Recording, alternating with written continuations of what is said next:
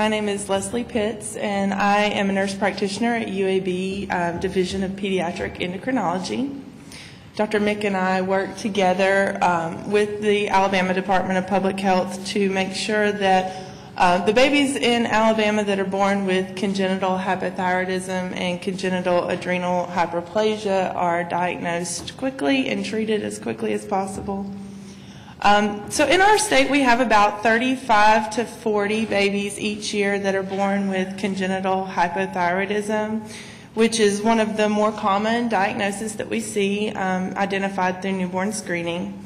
Um, as we heard earlier, congenital hypothyroidism is um, a, an inability of the body to make thyroid hormone, which we know is incredibly important for not only growth but cognitive development. Um, one of the other uh, endocrine diseases that is screened through newborn screening is congenital adrenal hyperplasia. And though this diagnosis is a little bit more rare, uh, it is a very serious condition. In Alabama, we diagnose about four to five babies each year with CAH. And today we're going to get to hear the story of one of those families. Um, the baby is Elijah Jeffers, who was diagnosed in 2014 with CAH at 15 days of age. So I'm just going to talk for just a minute about CAH. Um, it is a recessively inherited disease, um, like many of the conditions we've heard about today. Um, and it prevents the adrenal glands from producing two hormones, aldosterone and cortisol, which are essential for life. Um, aldosterone is the primary hormone that is responsible for maintaining the salt, potassium, and water balance. And cortisol is in charge of maintaining blood sugar and blood pressure during times of high physical stress. So in CAH, there is an absence of an essential enzyme called 21 hydroxylase that is in the production pathway of aldosterone and cortisol. And that blockade um, from the absence of that enzyme creates a spillover of precursor hormones into um, the androgens, which are uh, masculinizing steroid hormones. And so, due to this kind of spillover into androgens, um, females that have CAH have um, often will present at birth with either excessive masculinization or you may notice um, ambiguous genitalia. So they're really pretty easy to pick up on. But boys that are born with this condition, even with the very severe form, may have no signs at all that they have it. Um, and so if it's not screened for in the neonatal period, um, a boy with severe CAH would present between one and four weeks of age, and they would have severe failure to thrive, um, recurrent vomiting, dehydration, um, low blood pressure, low sodium, high potassium, and even shock. And some of these symptoms, though they may sound severe, can early on be pretty vague. And so if these symptoms are um, either unrecognized or misdiagnosed, the delay in treatment with steroids can lead to cardiopulmonary arrest and death.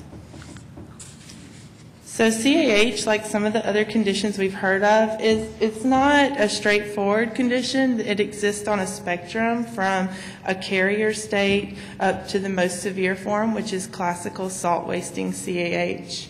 And so sometimes the presentation can be anything from no symptoms at all to adrenal crisis.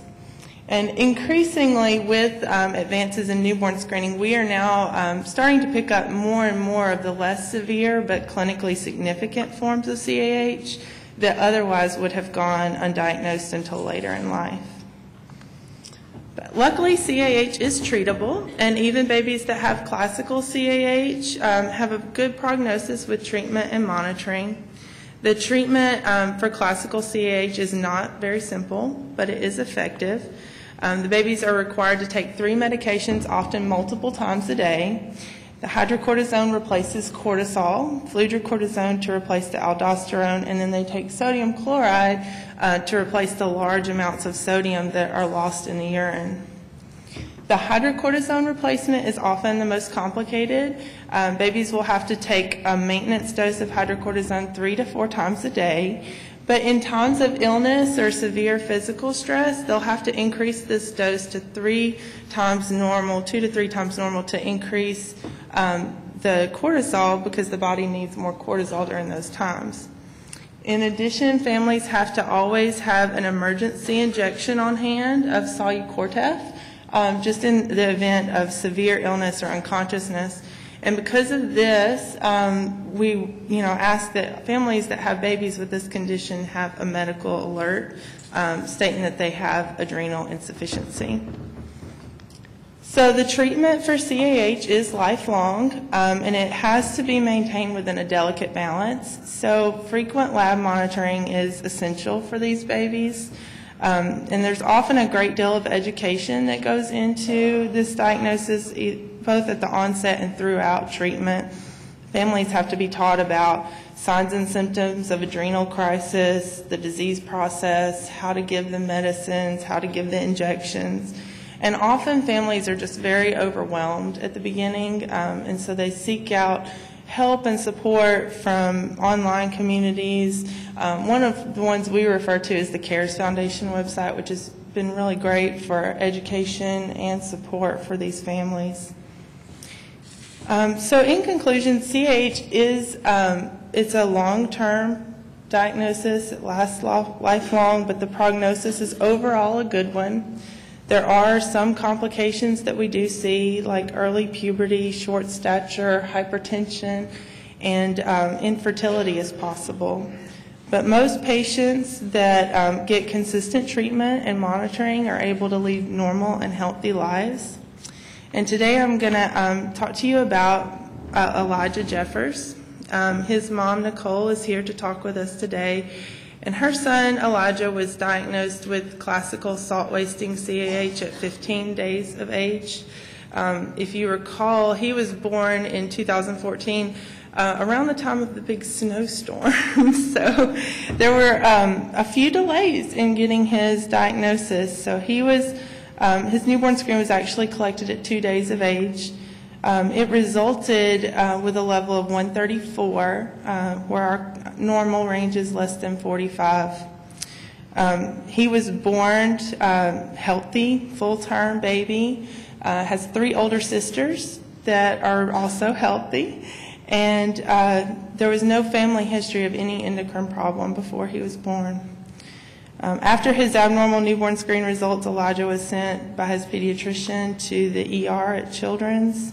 Um, at the time he had started to show some symptoms of adrenal insufficiency, his mom noticed that he wasn't eating very well and just didn't seem like he had much energy.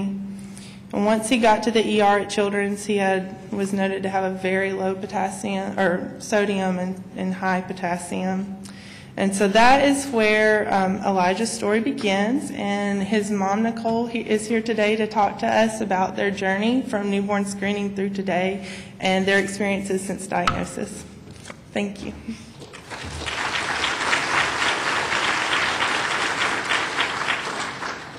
Hey, I'm so excited to get to talk to you guys today. That was extremely overwhelming. Um, we have only known about CAH for the 20 months that we've had our son. We um, have our three daughters who were born completely healthy. And of course, they all had their newborn screens, and we think nothing of it. You know, they come in, they prick the heel, they do it again when they're a few days, a few weeks old. It's never been a big deal. Even with prenatal testing, you know, they come in, do you want to do this? Sure, take some blood, we don't really care. You know, our children don't have anything. Nothing runs in our family. You don't think anything about it. We never thought there'd be any significance of those tests whatsoever. And in reality, it changed our entire lives. Um, our son was born very healthy. All our girls were right at seven pounds. So when this whopping nine pound chunk walked in, he was he was a huge surprise to us. We thought there's never been a healthier boy born. So when we were in lockdown for three days at Brookwood Hospital, watching the car slide down 31, um, we got to know him, and there was there was some initial concerns. He was a less than consolable baby. Um, I have he was my fourth. Um, my profession before children's, I was a nanny. Um, if anyone could console a baby, it would be me. But we chalked it up to he was having some trouble feeding, so we switched to formula. I gave him everything I could, and we continued that pattern after we went home. And he continued to lose weight. Um, we went back, of course, at two days. He'd lost a little bit more. No worry. his bili bilirubin looked like it was going to level out. And so she said, he'll be fine. So I took him back home, called the doctor. Something's not right. He's eating copiously. She's like, no, no, he's just hungry now. You know, he was a nine pound baby. He's going to make up time. I'm like, no, something seems really unusual about him. You know, he's really, really drinking. Like, I can't make enough. I am giving him everything I make plus formula, and he pees. He pees constantly. Little did we know he was exhausting his sodium stores at a remarkable rate. Um, at a week, I could not break the feeling that there was something wrong with my baby, so I took him back. I said, He's yellow. He's just a nasty color. There's something not right. And she said, I agree. Let's redraw, let's redraw the bili, even though it looked like it was going to plateau. Maybe you were wrong. And so, nope, Mom, it's just the lighting. You can take him home. He's, he's going to level out. He's looking good. And I just stared. I said, No, there's something wrong. But there's just a point where I, as a mom, have a feeling, and I have no medical background. And there's a point where a doctor has the questions and the things they look for and the things they can objectively check, and that's what they can do. And there's got to be something to bridge that gap. And she had done everything she could. And we didn't realize how delayed that newborn screen was going to be. And so I took this baby home. And two days later, the newborn screen was positive in Montgomery. We didn't have it. And so I spent a solid week at home dealing with a child that more progressively was so sleepy he couldn't wait to feed. And he had diarrhea. I was going through a pack of diapers a day, easy. I didn't know what was wrong. I didn't know what the deal was. I'd call the doctor. No, Nicole, the levels were good. You've just got to relax. You just got to relax. I'm like, I, I really, I'm sure there's something wrong. She said, You've just got to take it easy. He's going to be great. You just got to really believe. I'm like, Okay, he's not good. So the day before his two week visit, I get a call at 8:45 p.m. and it's his pediatrician, and I'm like, this was not the doctor's office number. What is this? She says, Nicole, hey, how does Elijah look? It's 8:45 at night. I haven't slept in days. I've been constantly feeding this kid. My attitude's not really going good. He looks like he looked the last time I brought him to your office. Is he? Does he have watery looking eyes? Not really. Was he still peeing and pooping constantly? Was he waking good? Not really. I mean, you know, what do you want? She said, Nicole, we might have missed something. His newborn screen came back and it shows CAH. What in the heck is that? No one in my family has this. I don't know what you're talking about. We discussed, we decided the next morning. She said, My office opens at 8. Be there at 7:45. My nurses will be waiting for you and we'll make a decision then on what to do. Okay, so what does every mom do? We hang up the phone and we check Google. So I break out that phone and I start Googling, and I'm like, oh, dear Lord, he has this.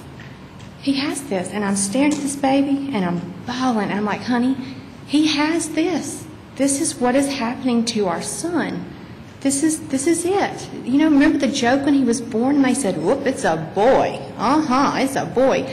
He, he has too much testosterone. That's what happened to our son. I'm not kidding here it was like the lights went off. I'm not crazy. Oh, I'm really not. We found it. It was almost a relief. And then you start reading and you realize this is more complicated than any mind can hold at once. So that night we went to sleep, only knowing that the next day was going to be hard and not really knowing what it held. But I'm so thankful it held a lot because it meant that I got to keep my son. That screen gave us a future. We got to the doctor's office and it was obvious. They weighed him and the color drained out of my face. The constant effort to feed this child, and he had done nothing but lose weight. The, the energy I had poured into just guaranteeing that he would, he would just hold level and be okay to make it to that next appointment. He was dying in front of me, and I knew it. I had known it all along. There was something wrong with my son, and she said, It's okay. We're going to help you, and we're sorry. Go to Children's, they'll be waiting. So I got to meet my next group of skeptics. The nurses were like, And why are you here? Well, he looks okay to us. But, but that changed. They drew some electrolytes, and I got three nurses, multiple syringes, two doctors. No one, we'll talk to you in just a minute. We've got to get some fluids in this baby. from that point forward, we have been able to get him the help he needs. He takes steroids several times a day. We check blood pressure several times a day. But if you saw him, you would think, well, he's definitely on steroids. He could take down a room in no time. He is a thousand times the energy. He is full blown boy. He is happy to be here, and if you wanted to check his blood sugar, he'd do this. I mean, he's he's done his time in the hospital, and he understands, and he does pretty well with his blood draws, and he one day he will fully understand why. Right now, he doesn't really question. It's just his life, but. God saved my little boy's life, and he used this newborn screen.